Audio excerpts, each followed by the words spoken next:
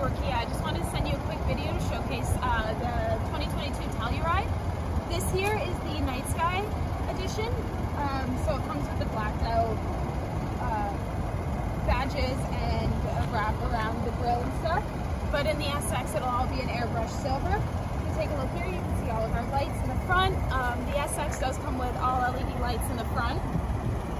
Take a look at the Tiger Nose grill to the side, we have 20 inch alloy wheels and our power folding heated uh, side view mirrors with signal repeaters.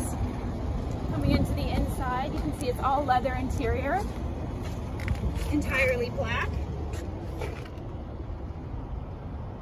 You can take a look here at the 10 inch navigation, which is just our fully touch screen. So we have nav, um, your map, all your basic settings. We have a backup camera and a full 360 camera around the car, as well as side cameras for when you're turning.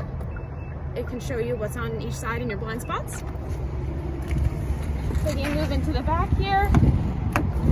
We have our second row captain's chairs, which come with armrests, as well as the third row, which is easily accessible. Lots of space. And moving on to the trunk, we have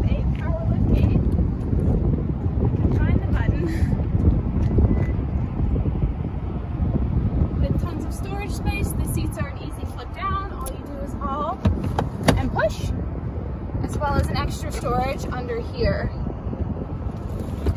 If you have any questions about the uh,